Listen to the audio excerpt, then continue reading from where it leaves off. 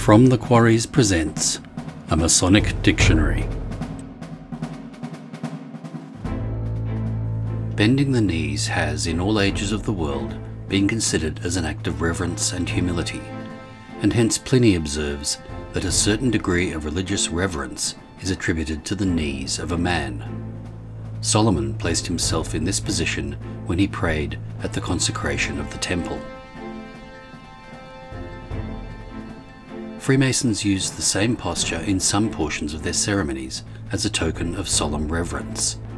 In ancient craft masonry, during prayer, it is the custom for the members to stand, but in the advanced degrees, kneeling, and generally on one knee, is the more usual form.